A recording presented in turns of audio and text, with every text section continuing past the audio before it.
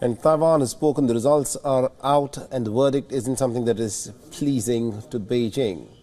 China has said that reunification of Taiwan is a historic inevitability, and the statement has come just moments after the Taiwanese voters swept the ruling Democratic Progressive Party's candidate Lai Ching-te to power. And Lai, without mincing any words, has said that he'll defend the self-ruled island's autonomy.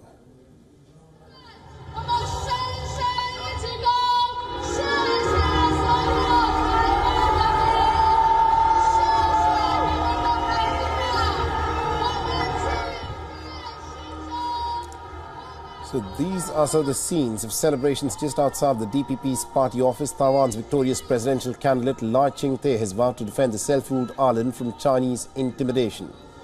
Addressing the supporters after his two opponents conceded defeat, Lai thanked the Taiwanese people for writing a new chapter in Taiwan's democracy.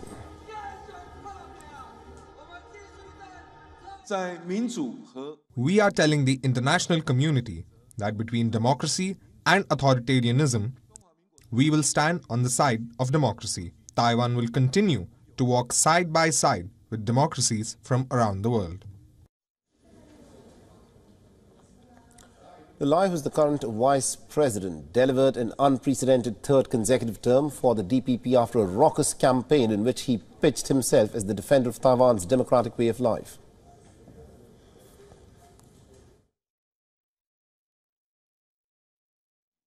Through our actions, the Taiwanese people have successfully resisted efforts from external forces to influence this election.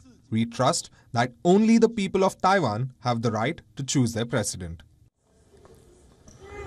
The European Union has also welcomed Taiwan's presidential election and has congratulated all of the voters. A reaction from China has, of course, come in where Beijing, remember, in the past has slammed Lai, the current vice president, as a dangerous separatist. And on the eve of the vote, the Defense Ministry of China has vowed to crush any move towards Taiwanese independence. In an explicit rejection of China's warnings not to vote for him in an election that Beijing had framed as a choice between war and peace, the people of Taiwan have supported a candidate who has vowed to uphold Taiwan's sovereignty.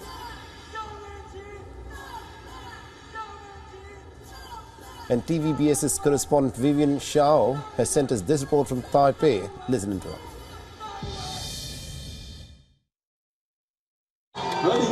In the wake of a historic victory in Taiwan's presidential election, President-elect Lai Ching-te uh, and Vice President-elect Hsiao Bi-khim vowed on Saturday to follow in the footsteps of President Tsai Ing-wen. Addressing international media, Lai emphasized his steadfast commitment to democracy he thanked his opponents for upholding democratic values and congratulated their parties, expressing eagerness to collaborate for Taiwan's future. This election, a focal point of the 2024 global democratic process, has been a testament to Taiwan's resilience against efforts to influence its democratic proceedings, he said. According to Lai, the results also demonstrate a clear preference for democracy over authoritarianism. More importantly, he stressed that as the president-elect, he has an important responsibility to maintain peace and stability in the Taiwan Strait. To this end, he promised to act in accordance with our democratic and free constitutional order in a manner that is balanced and maintains the cross-strait status quo under the principles of dignity.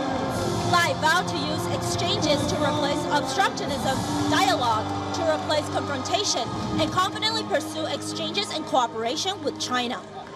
This will further the well-being of people on both sides of the Taiwan Strait and achieve our objective of peace and common prosperity, he continued.